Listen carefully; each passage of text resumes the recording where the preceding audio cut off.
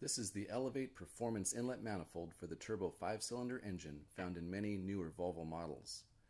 This engine is used in the S60, S80, V60, V70, XC60, XC70, and V40. What makes this inlet manifold design different than the unit Elevate has offered for the P1 T5 Volvos is that this design allows for the MAP sensor to be mounted in the inlet manifold in the same location as the factory manifold.